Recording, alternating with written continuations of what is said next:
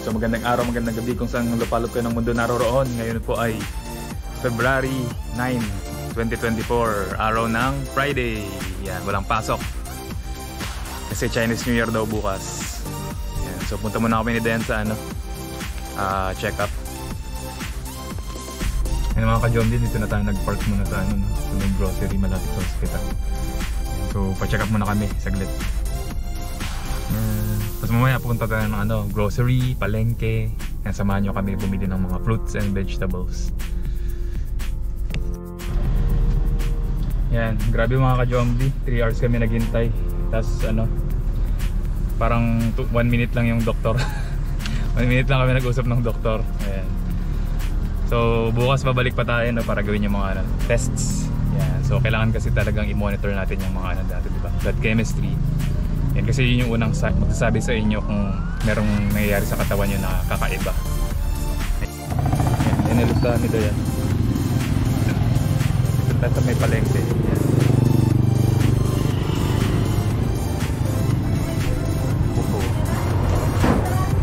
Ito mga ka-John din, laki ng togi nito. Paano kaya ito? Ano? Meron din. Oh. Ah, mga lima. So, namimili sila yun ng patatas.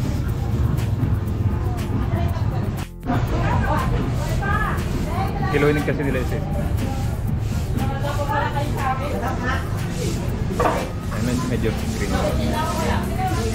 Pag yung may mga buhok-buhok kasi matandaan mo.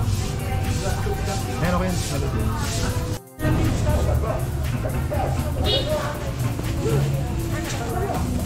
yan nung Dahil nung prutas ng sarap.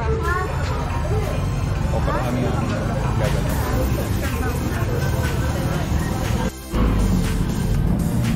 Ayan, bili tayo ng mga gulay. Bili muna tayong buko. First batch 274 Yan Ito, ito, ito Ngayon na? O, para lagyan natin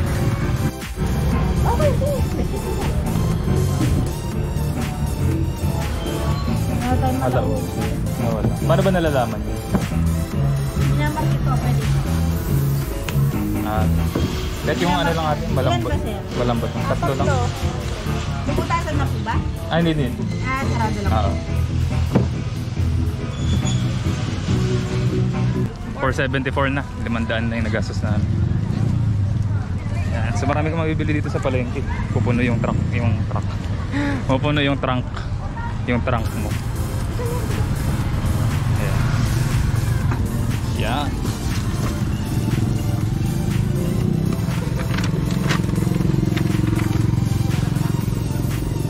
Wala lang tayong sa pangsahog.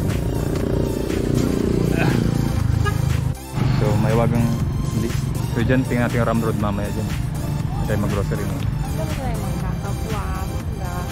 Tokwa? Saan kayo may tokwa? Okay na yung fruits na, ay, gulay natin.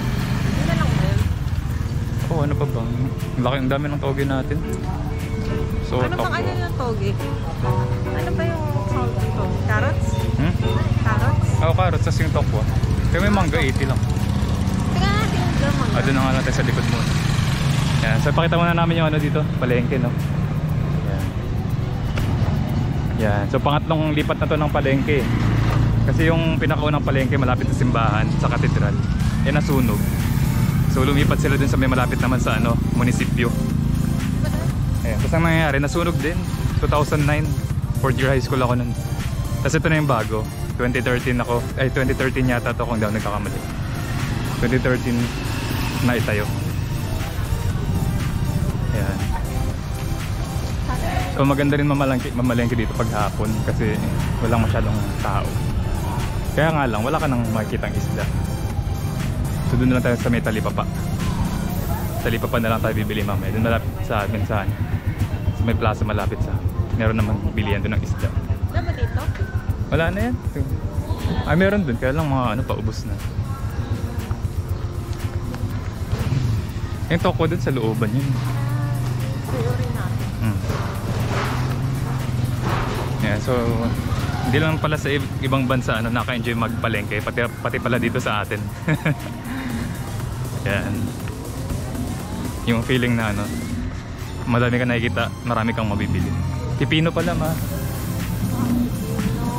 Mangga. Yan, So ito yung iba sarado na.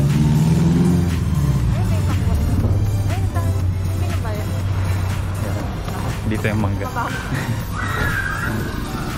Farm gate. Ayun, yun dun.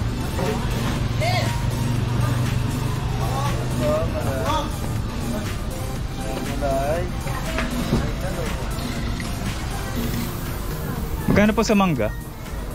Ganito sir, 160, it's 150, 150 rin. Ito times Ano? Isa. Isang kilo lang po ah. Sige po. Dito na? Hmm. Ito po 116. Ah, na po. Ano yung good size lang? Sige, ito yung good size lang po ah. Good size, Matamis to ate. super sweet. Saan bayan galing? Ano yan? Pag-aami. Ito matamis din. Sige po. Sige. Mga ilang peraso kaya? Apat lang. Tatlo, apat na. Apatin mo na. Sige. Apple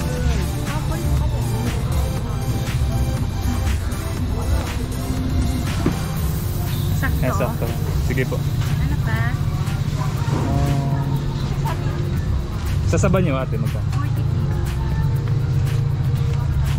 Ay, laki nito.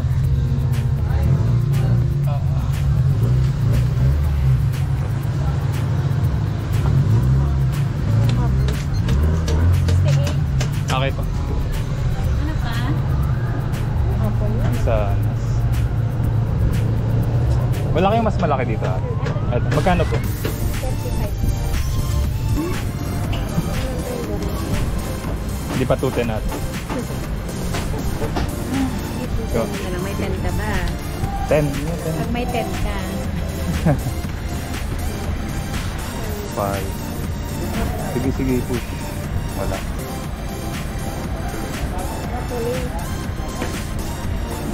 Wala ate. Kulang, kulang. wala. Wala, kulang.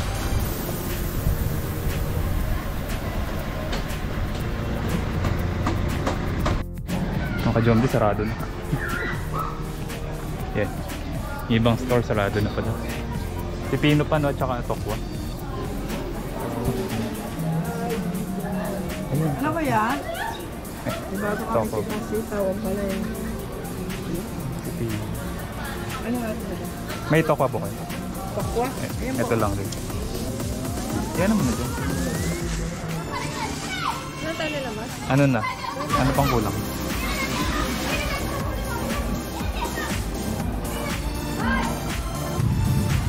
Yan, sa nung bata ako sinasama ko dati yung tita ko na mamalengke. Pero yung sa lumang palengke pa dun. Yan, tapos yung natitirang sukli sa budget, binibigyan niya sa akin. tapos nakabila ako ng cellphone nun, Motorola. Tig 2K.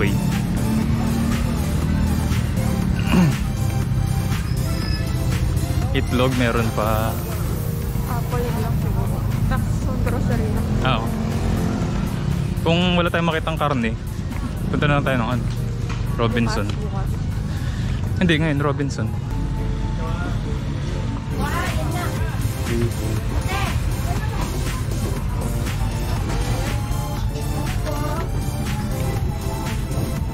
Ito, mal ano? 160. Di pa 150 ate. Ah, sige. Siya apple. 250.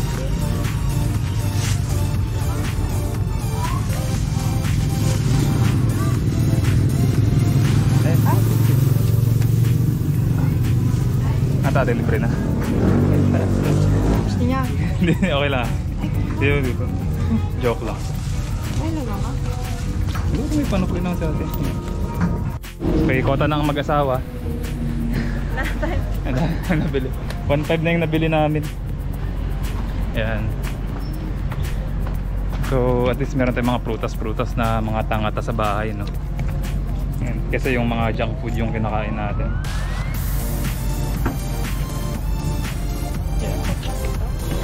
Ayan. Dun. Oh, yeah. Okay, puno ng ating trunk. So masaya din mamalengke kasi madami kang namimit na mga tao. Yun, yun yung masaya. Yun yung ating ikigai. So, try natin mamili dito sa suking ano, supermarket.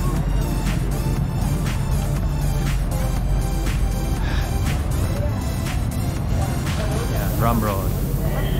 Hindi natin napakita. Rum road. Yan, hinihintay ko yung magbukas dito yung Dali, yung mga ano, mga may mga kapangalan na brand. Yan. Yan, tapos na tayo. Ayun, dilim na. Yan, tapos na tayo mag ano, mag grocery. Yan. So medyo ano lang ng konti no. Medyo mahal lang ng konti sa kanila. Yan, mas mura pa rin sa ano, Save More at saka sa ITC. Yan. Ayun mga ka-jom din no, so nakawin na kami ni Dan dito sa bahay na inaayos niya na yung mga ano niya, mga ano, pamili niya sa palengke. So marami rin kaming napamili. And yun, mas mura pa rin talaga sa Save yung mga grocery items. Pero anyway, sa susunod, ganun na lang gagawin namin. Pag prutas sa palengke, prutas o kaya gulay, sa palengke na lang. Tapos pag grocery, doon lang kami sa Save kasi mas mura doon. Yan, so maraming salamat sa mga gustong mag-subscribe. Pwedeng pwede ah. So salamat sa 105 subscribers. Yan, so hopefully ngayong year mahit natin yung 500 subscribers. No? Yan. Ah, bukas na lang ulit. Hanggang sa muli mga ka-Jomdi. Bye!